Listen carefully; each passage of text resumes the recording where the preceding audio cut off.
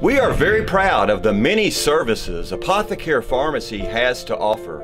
Like Dispill, an innovative multi-dose packaging system for your medication.